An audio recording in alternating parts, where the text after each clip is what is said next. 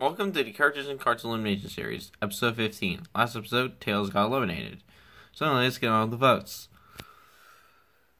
So, uh, Sonic, Hal, and Dry Bones are all safe on one vote, which means the other, vo- the one with multiple votes, is out. And that character is Rosalina, so she's out with four votes. Ah.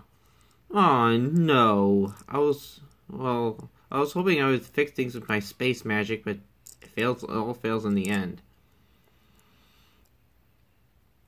But hey, at least Waluigi's still here, and I'm one of his gazillion wives. Yep. Wait, goodbye, Rosalina. Oh. Alright. So, so that's another uh, one of the princesses down, although Rosalina's technically not a princess because she's not called Princess Rosalina, technically speaking. She's just she's just typically called Rosalina. But uh yeah.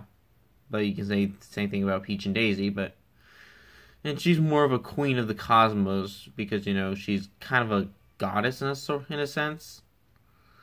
But anyway, that's a whole nother topic. So vote another one of these guys to be eliminated, and uh, whoever gets the most votes will leave the show.